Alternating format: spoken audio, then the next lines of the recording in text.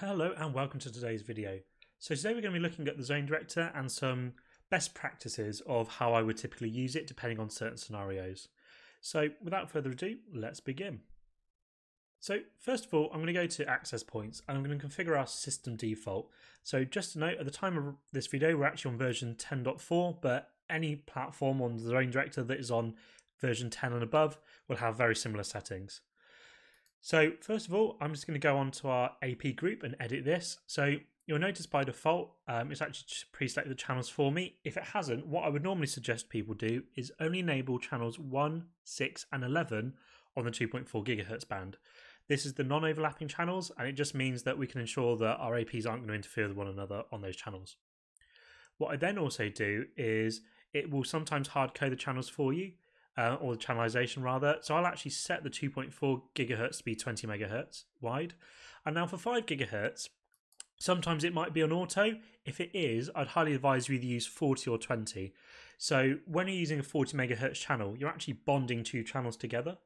So typically, what I would say is um, if you're going for, say, a hospitality area or a skyscraper deployment, you would probably want to use 20 megahertz channels because you've got that many APs around as well as if they're in a corridor placement, you'd probably want to use 20 megahertz channels simply so that you've got more non overlapping channels to use in the 5 gigahertz spectrum.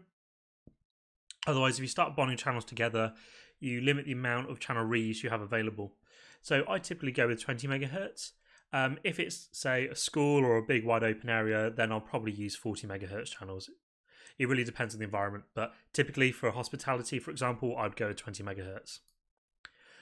What we can then do is modify a transmit power. So this is very specific and this requires you to know your site automatically. So by default, auto mode is perfectly fine. It's actually going to automatically adjust the transmit power based on the amount of interference the APC from one another. So that means that it's going to adjust the cell range and uh, based on the interference values. Now, if you wanted to, you can actually hard code this and say full power, so all the APs will automatically be running at 20 dB, but you may not want to do that um, simply because it can cause too much interference. Again, it depends on whether you're in, in a corridor, for example, or if you're going in room, especially in hospitality. Most of the time, for most deployments, I'll actually leave it on auto and let the AP decide the transmit power, and that's worked very well for me. Um, if I do have APs in a corridor, however, um, and I'm finding they're not bleeding into the rooms accordingly because of the design that I've chosen, then you may need to hard code the power um, and set one of the various dB values. So minus dB is basically minus 1 dB away from 20 dB. So be careful with it. Personally, I'd leave it at auto. Um, client admission control, I tend to leave this alone because uh, the Ruckus APs perform a lot better without us trying to decide what airtime usage we should have a limit on.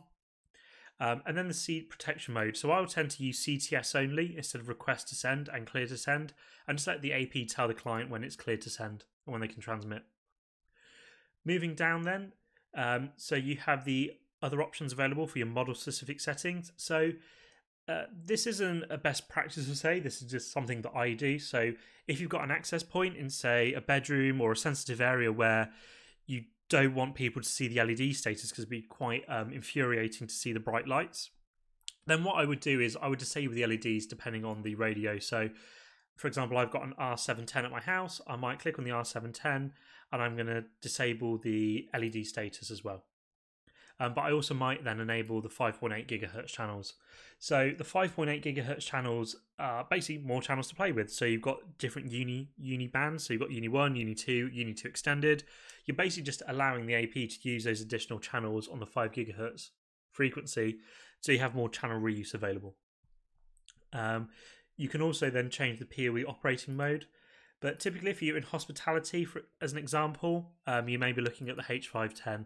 So on the H510, you'd probably want to disable the LEDs potentially, um, but you also may want to disable the Ethernet ports as well. So disable any Ethernet ports you're not using if the AP is in plain sight. Or if it is in plain sight, you may want to change what the VLAN tag is going to be to make sure that a client can't connect into the AP management VLAN. And that's it for the group settings. So I'm just going to click OK to that. So next we're going to create a WLAN. So the WLAN is fairly generic and the same settings can be applied to any real sector. So whether you're a school, whether you're in a hospitality area. So I'm just going to create a generic WLAN. So I'm going to call it test. Um, then we leave it standard access. Now you may be using a captive portal, so you can probably gloss over the authentication and encryption mechanisms here. I was going to leave it as none for the moment. Um, but then under advanced options, so if I'm in a hospitality area, I may want to actually stop client, wireless clients from communicating to one another.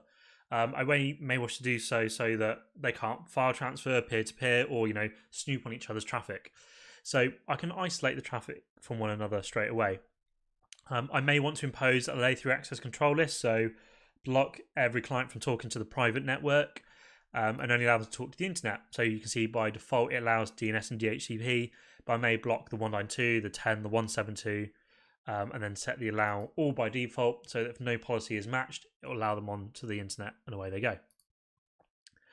Um, I will probably want to enable application recognition and control. Um, this is handy to have enabled just so you can see what applications people are using. You know, it's always good to know to see how your network is actually being utilized so it'll identify whether they're using Facebook, YouTube, and how much data they're actually transmitting. Then you may want to impose a rate limit. So you may want to impose a rate limiter across the whole SSID. Um, I personally don't do this, but it may be something you want to do. So you can either do it across the whole SSID as a whole, or you can do it in your layer 3 4 segment up here and block it on a per client basis.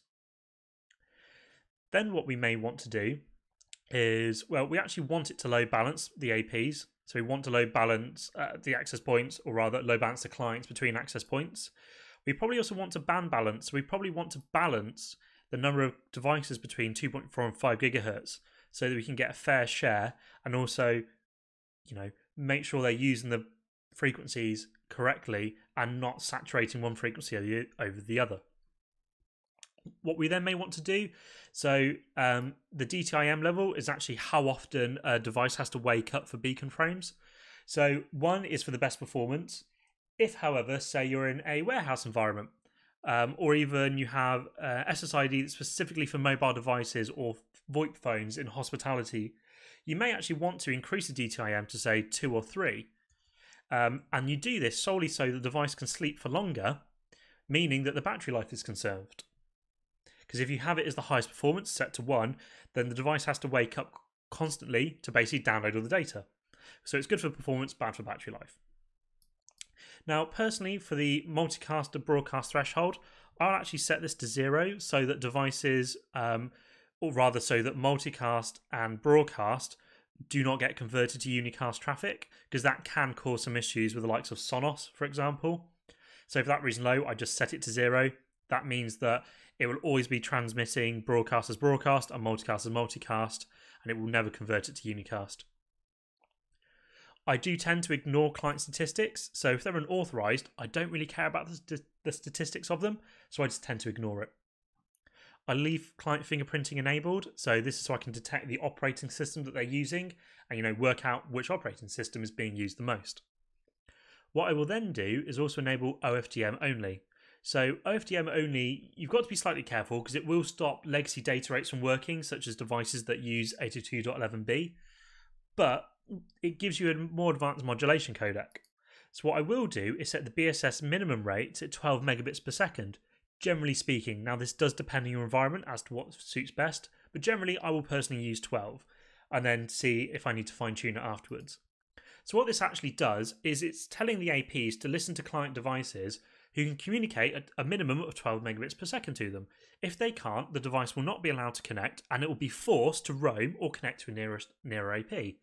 So the reason why I tend to use this is iPhones, Android, you know, they tend to latch on to the first access point that they see and they never move away. So what I can do by using the BSS minimum rate is actually say, well, if you can't talk to me at 12 megabits per second, well, then you can't talk to me. So I'm going to force you to disconnect and connect to another AP that's nearer. And that's how you get the performance on those types of devices where they're sticky and don't tend to roam away.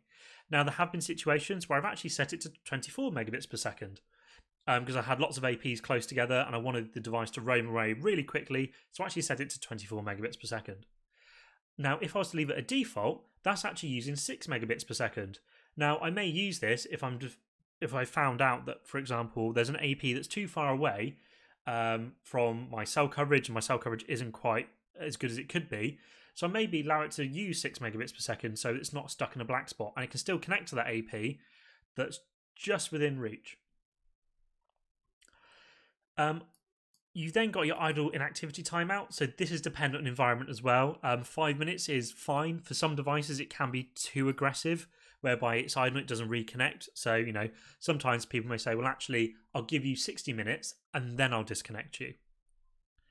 I don't tend to enable 82.11k neighbor reporting, specifically if I'm in an area where I don't know what client devices are going to be connecting.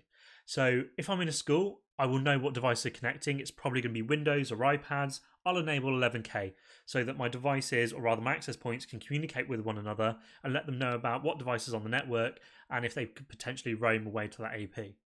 The reason why I don't enable this for the likes of, say, a hospitality guest network is for the sole reason that MacBooks don't actually support 82.11K. And because they don't support it, what can happen is the device can be kicked off the network, and it's actually the device that disconnects because it doesn't understand the protocol. So I've had some really odd results with Apple MacBooks. So for that reason alone, on a guest network, I'll actually not enable 11K.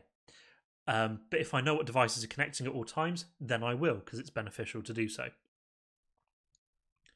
And that's kind of it for the best practices. So thank you for watching today's video.